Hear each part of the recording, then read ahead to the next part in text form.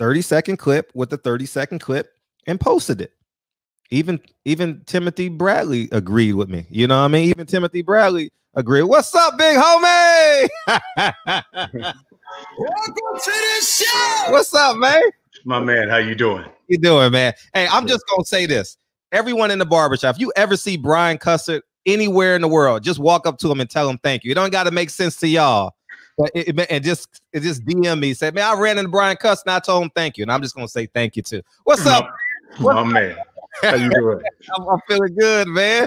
So, so let's work backwards a little bit. Did you watch the fight? You watched the fight in the hotel room last night? Yeah. Absolutely. Uh, matter of fact, I was in his home state of Nebraska. I know, I know. Uh-huh. Flew home, got home in time to drop mm-hmm. my bag off, and it was it was starting. Oh, okay. And, and, and, tell me what you thought of it. Tell me what you thought of Crawford. No, I, I, thought I thought he was good, man. And, and and honest, I mean, you know, I thought Kell Brook, you know, he kind of controlled the distance early on, but you know, he Crawford's got that reach, and once he found his range, uh-huh. I mean, he, he's he's he's he's a beast, and um, I, I, thought it was impressive, man. You know, listen, you know, I think that was one of the things uh, we talked about was did he consider Kell Brook an elite welterweight? You know, mm-hmm. because it's been a while since he's fought yeah. at that weight. Yeah. And uh, but you know, say what you want about Kell Brook, he he is a former champion. He's fought some some top guys, so th- that's at least a credit to Bud getting getting him out of there as quickly as he did. Sure. Uh, and two, he's finally gotten a name on his on his resume at welterweight. Yeah. That's what he's been fiending for. Yes, I, I would agree that he got the name. And and and and I bet on Kell Brook. I bet two hundred dollars to win twenty three hundred dollars. I'm supposed to make that bet, right? Yeah. In my humble opinion, I'm, i just got to make make that bet. Right. And but the Kell Brook that was building up to the fight wasn't the Kell Brook that was inside that ring. That motherfucker got hit with a jab and said, nigga look like Fred Sanford is, but oh, it's the big one. Oh, it's the big one. man, he started doing the, the Ickey Wood shuffle, man. I'm like, dude, it was a jab. It was a jab. You know, you know, and yeah. uh, I uh but but I, I I like the way he finished the show. Don't let this dude recover. Right. Don't get cute. Don't do all this Jaron Ennis stuff. You know what I mean? Uh, yeah. Uh, uh, just finish the guy and, and get to the post fight interview. He did a great job at that. And and since uh Errol Spence is the barometer, shit, I'm like, if I'm Errol Spence, I'm licking my chops.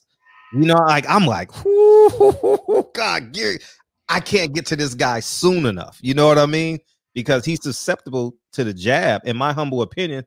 I thought even though he switched from orthodox to southpaw, he still fought on the same line to me. Like it, it was no variances in terms of him half stepping. He was still there. He just moved one shoulder in front and one to the rear. Yeah. You know, in my opinion. So I I thought he he did a had a great fourth round, but Kell Brook gave us the blueprint, and so did I thought uh I don't know the guy's name, fried green tomato.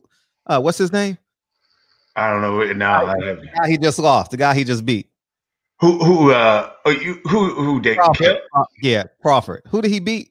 Fried green tomato. What's that dude's name? He knocked them down, but they didn't call it. Oh, uh, oh yeah, yeah, yeah. The the the, the guy before Kell Brook, you talking? Yeah, about. the guy before Kell Brook. Yeah. Yeah, that that one, yeah, that, that name, yeah. I have no he idea. He fought him kind of straight too, like you know, and so, so that's kind of like the blueprint on on Terrence Crawford. But I like the dog in him though. I like the dog in him. I like the dog in him. Absolutely. I mean, listen, it, once he has you hurt, yeah, it's over. Right. It's right. over.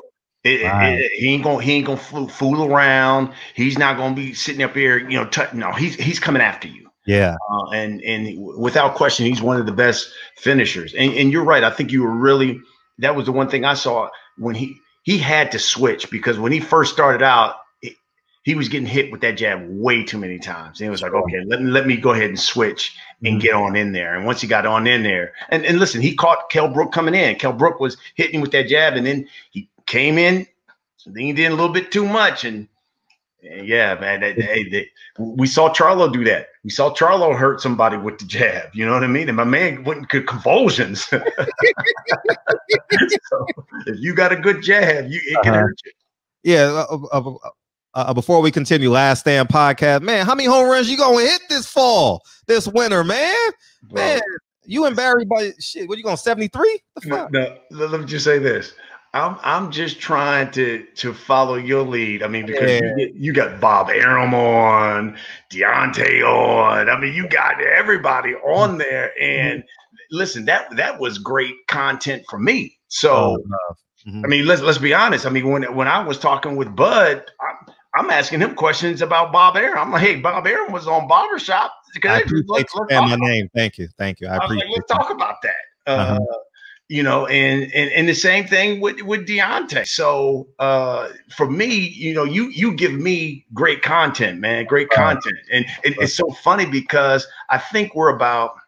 I think what like 2000 shy of 10,000 now. And I mm-hmm. remember when I first came on, we were just trying to get like 500 people to subscribe. You know what I mean? So, you know, we're, we're getting there. We're getting there. If we can get to 10,000, I think we'll be doing something yeah, yeah, you'll get a push over the next over the next two or three days for yeah. sure.